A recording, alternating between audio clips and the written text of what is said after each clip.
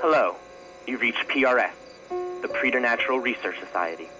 Please leave a message after the beep. 3 a.m. Thursday. PRS receives a call from a distraught homeowner who says she cannot spend another night in her house. They're on the scene the next day. The house is alive. At night, it changes. It has to be something evil. Can you tell us when you died? Something just went right through me. Pure, pure darkness. God, I'm seeing blood, bodies. You've definitely got more than one down here. This is just an unsettling area. It's like a mass grave. I'll keep it coming, but if you can't handle it, you let me know.